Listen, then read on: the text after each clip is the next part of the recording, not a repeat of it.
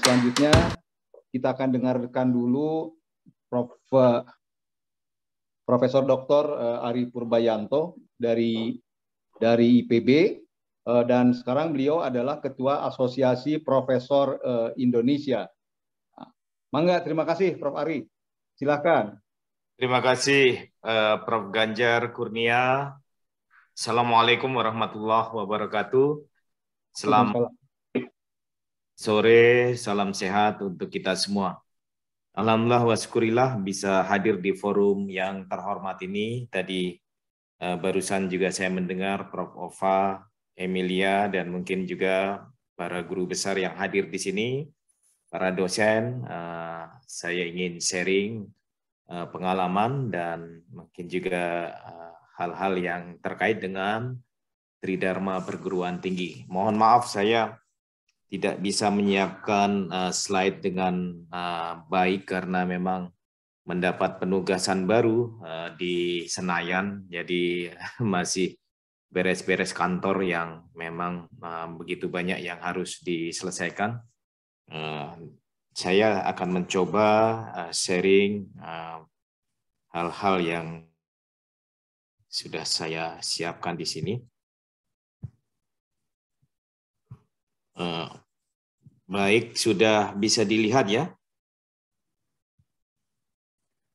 Sudah bisa di Sudah, sudah, sudah. sudah. Baik, uh, sebagaimana yang disampaikan oleh uh, Senat Akademik uh, Universitas Pajajaran, uh, judulnya adalah kita akan uh, melaksanakan curah gagasan terkait dengan Tridharma perguruan tinggi di masa depan. Saya tergolong senator yang lama di IPB sejak tahun 2004.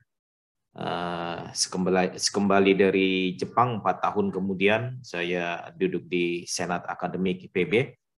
Namun waktu itu masih uh, menjadi uh, sekretaris eksekutif. Kemudian saya terpilih setelah mendapatkan jabatan guru besar IPB tahun 2007 Eh, terpilih menjadi anggota Senat IPB tahun 2008.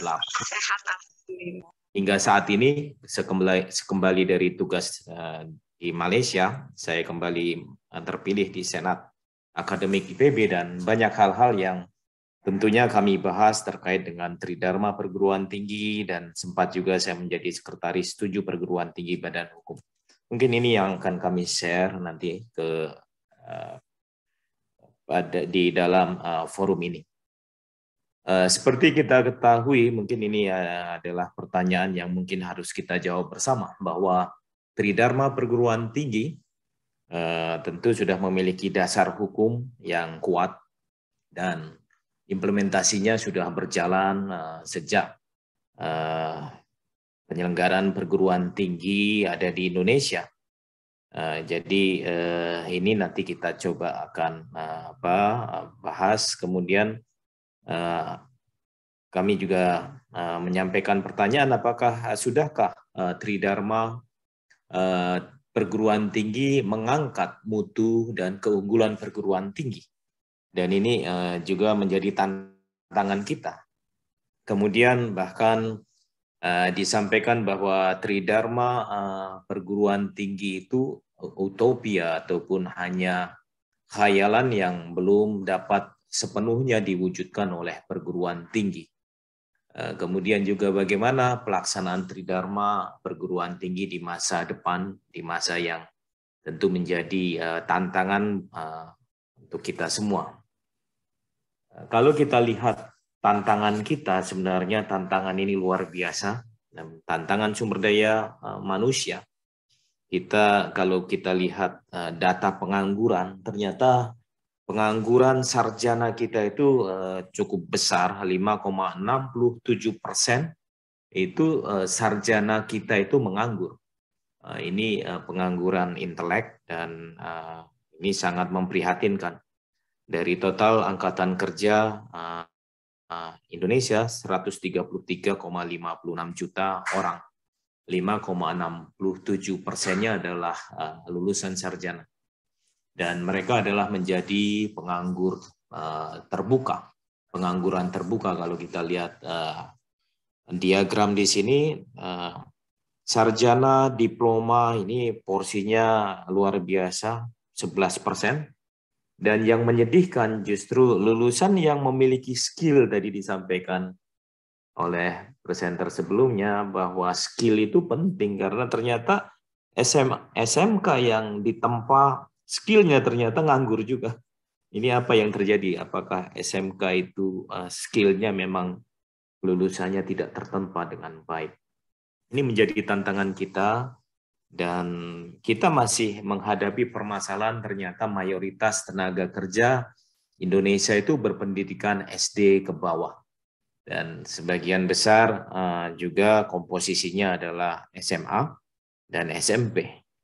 Uh, perguruan tinggi uh, kita itu masih sangat kecil, masih 10 persen. Kalau ditambah dengan diploma, itu persentasenya 11 atau 12 persen. Jadi ini ini relatif kecil di negara yang seluas ini untuk menggerakkan pembangunan, untuk akselerasi pembangunan tentu diperlukan uh, lulusan uh, uh, perguruan tinggi yang handal. Kemudian kalau kita lihat uh, tantangan kita ke depan, maaf, maaf, tantangan perguruan tinggi, kita lihat perguruan tinggi kita nomor tiga terbanyak di dunia yaitu uh, 2136 uh, yang yang oleh kementerian dibagi ke dalam lima klaster. Uh, Pajajaran termasuk ke dalam klaster satu, uh, termasuk UI, IPB, ITB, dan klaster 2, 34 perguruan tinggi, dan seterusnya.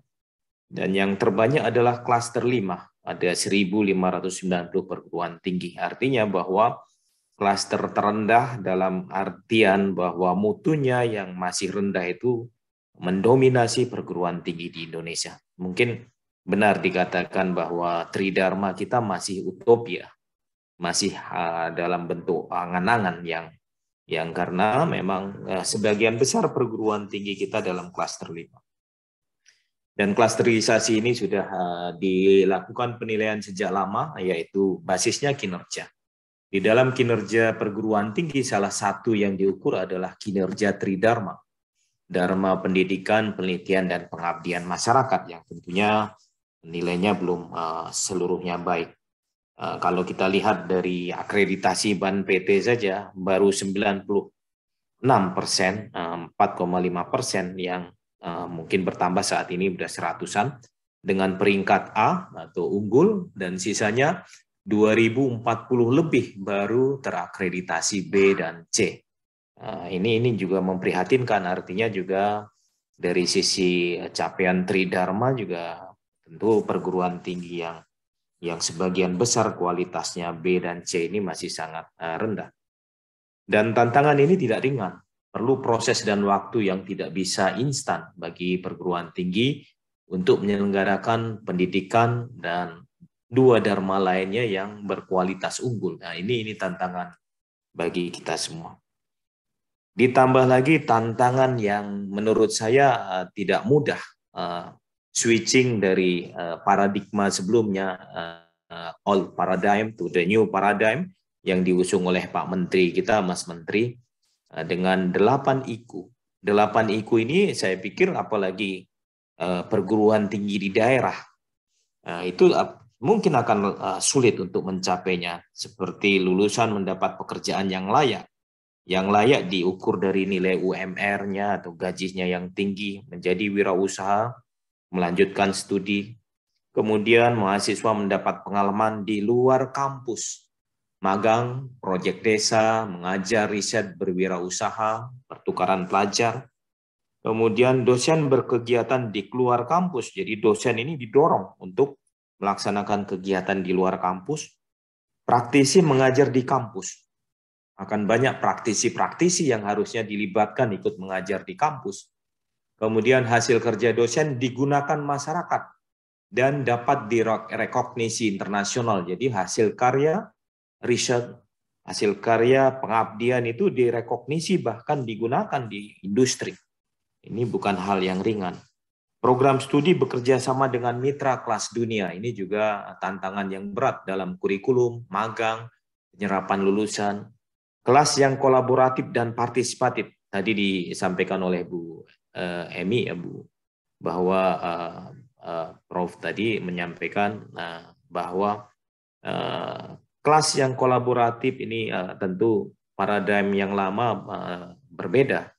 Uh, di sini uh, evaluasi menggunakan project based learning dan studi kasus dan juga delapan adalah uh, IKU yang ke-8 program studi berstandar internasional. Dan di situ uh, didorong untuk memperoleh akreditasi tingkat internasional.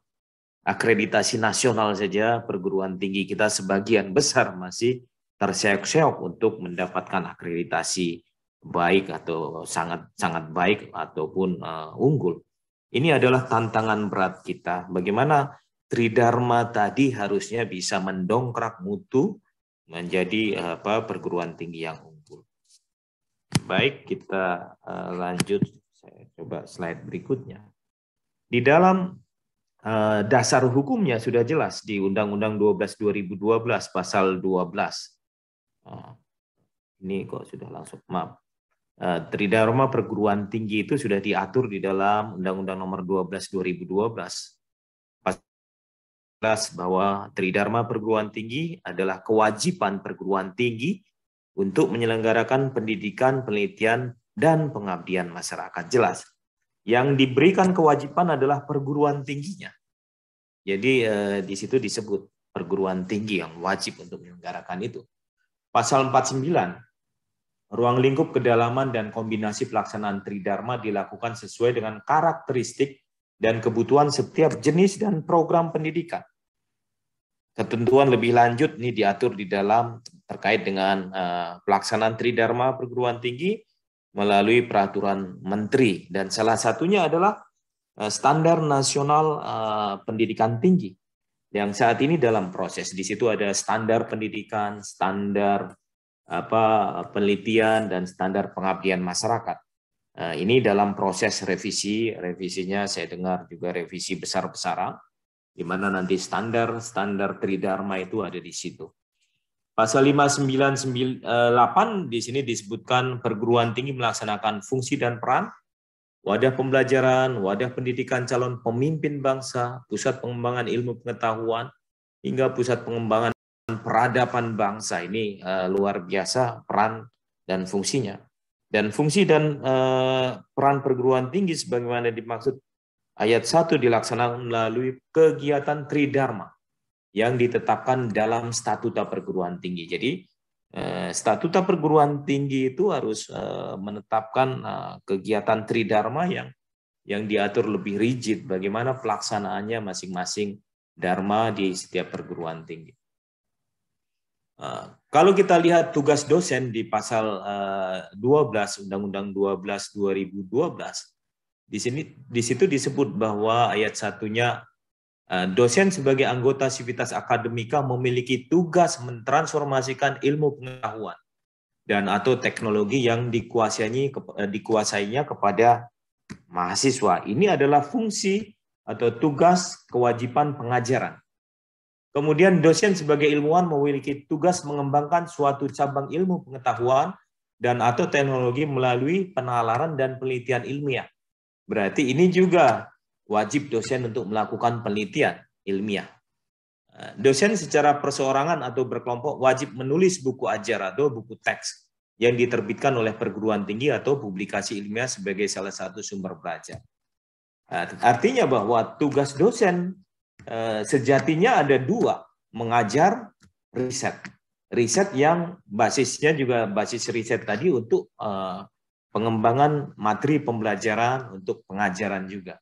Uh, tapi ditambah lagi drama apa dharma yang ketiga pengabdian masyarakat sebenarnya di dalam undang-undang tersebut tidak terstate langsung untuk menjadi tugas dosen. Lanjut, saya lihat kan lanjut kemudian Uh, kalau kita lihat fungsi dan peran perguruan tinggi, tadi disebutkan fungsinya adalah menyelenggarakan Tridharma. Tetapi eh, kebetulan kami menulis buku dulu otonomi perguruan tinggi bersama eh, bersama teman-teman dari tujuh perguruan tinggi badan hukum yang dipublish di apa di uh, penerbit Obor tahun 2012 dengan uh, editornya Profesor Sulistiowati Rianto. Di situ salah satu tulisannya disebut bahwa Tridharma adalah utopia perguruan tinggi, terutama untuk negara yang sedang berkembang. Nah, ini ini berat. Di dalam Dharma satu saja dalam pembelajarannya, mungkin juga mutunya belum bagus. Tambah lagi Dharma penelitian dengan sarana yang kurang memadai, tambah pengabdian, tentu ini hanya menjadi angan-angan untuk perguruan tinggi yang belum established. Nah, jadi ini ini juga menjadi berat bagi perguruan tinggi yang belum established. Permasalahan yang dihadapi eh, dalam pelaksanaan dharma tersebut, setiap dosen diharuskan untuk melaksanakan ketiga dharma secara seimbang. Pada kenyataannya sebagian besar dosen fokus kegiatannya lebih diarahkan pada pendidikan dan penelitian saja.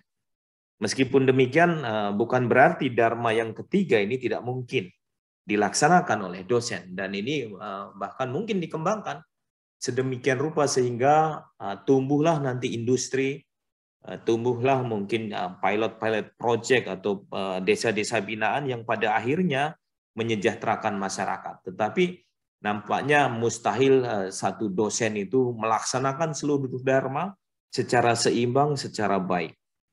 Nah, sehingga ini juga menjadi tantangan besar. Apakah ini menjadi tugas perguruan tinggi yang harusnya dipikul rame-rame?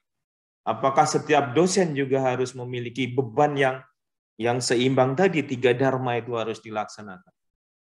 Kemudian otonomi perguruan tinggi memberikan peluang kepada perguruan tinggi berkreasi, membangun dan mengembangkan keunggulan atau branding pelaksanaan tridharma yang terfokus jadi tridharma yang terfokus, jadi tidak seluruh dharma.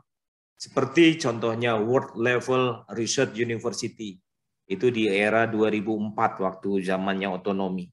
Kemudian ada lagi universitas established university yang mengklaim atau mereka branding dengan keunggulan industry related university, berarti dia lebih ke pengabdian, dharma pengabdian. Ada lagi yang prominent teaching university, dia fokus hanya teaching. Fokusingnya ke teaching, tidak tiga dharma tersebut. IPB sendiri eh, saat ini membangun eh, dan mengembangkan keunggulan melalui branding Socio Technopreneurial University. Socio Technopreneurial University artinya bobotnya diarahkan ke sana meskipun teachingnya juga tetap. Tapi ini eh, lebih ke arah mencetak technopreneurial. Di Belanda sendiri ada Wageningen Wageningen University and Research, ya, di mana uh, universitas ini kuat sekali di riset, uh, tapi tidak seluruh dharma. Jadi artinya bahwa otonomi perguruan tinggi harusnya memberikan peluang kepada kita untuk kita fokus untuk pengembangan nah, dari salah satu atau dua dharma, tidak menyeluruh. Fokus pengembangan perguruan tinggi di Indonesia, uh, kita sebagai pusat pendidikan dan inovasi pendidikan dalam pendidikan. Pioner dalam pemanfaatan teknologi informasi di bidang pendidikan.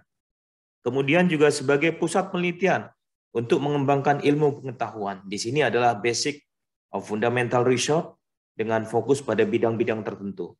Dan ini tentu membutuhkan kerjasama yang erat dengan perguruan tinggi atau institusi penelitian di luar negeri agar mutu penelitian dapat dijamin dan dipertahankan.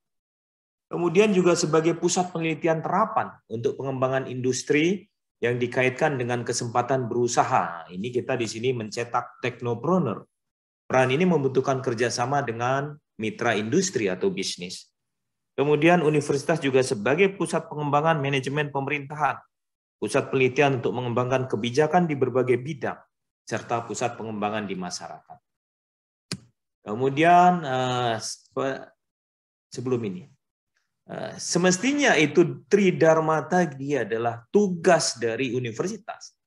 Tetapi tugas itulah dipikul rame-rame oleh dosen, tidak berarti dosen menyelenggarakan seluruh dharma dalam satu kesatuan sehingga itu secara seimbang itu luar biasa. Kalau itu bisa dilaksanakan semua, sehingga eh, dengan dharma yang itu akhirnya banyak dosen yang terbebani, dosen yang passionnya hanya mengajar nggak bisa jadi profesor karena dia nggak punya penelitian yang handal, dosen yang hanya meneliti tapi nggak mengajar atau nggak melaksanakan kegiatan penyuluhan nggak bisa menjadi profesor.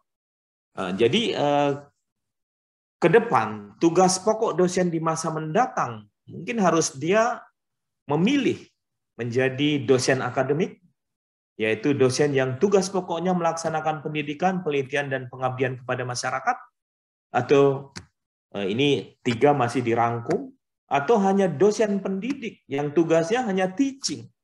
Jadi teaching activity dengan risetnya yang mungkin tidak uh, tidak signifikan.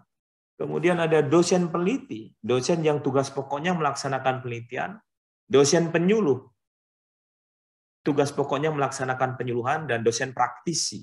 Nah, tadi kan di dalam apa delapan itu banyak praktisi juga Nanti ada dosen praktisi yang tugas pokoknya melaksanakan pendidikan berdasarkan pengalamannya di bidang profesinya. Ini sudah kami rumuskan Prof. Ganjar eh, dan bahkan sudah ada peraturan SA-nya IPB tahun 2018 tentang norma pengembangan sumber daya insani IPB. Ke depan harusnya tugas dosen sesuai dengan passionnya sehingga harus perangkat penilaian untuk menjadi profesor itu harus berubah. Eh, proses saat ini eh, nampaknya pemerintah sudah aware tentang hal tersebut, sudah menyadari eh, dan saat ini dalam proses menuju perubahan. Sebagai contoh, baru-baru ini saya juga baru melakukan asesmen untuk sertifikasi dosen. Ternyata sudah berubah. Sertifikasi dosen 2021 memberikan keleluasaan kepada dosen untuk mendeskripsikan salah satu dharma sesuai passionnya. Jadi tidak harus seluruh dharma tersebut seimbang. Jadi dia bisa saja karena passionnya dia mengajar di pengajaran itu. Jadi dia harus mendeskripsikan pada PDD UKTPT atau pernyataan diri dosen dalam unjuk kerja Tridharma perguruan tinggi di salah satu dharma saja.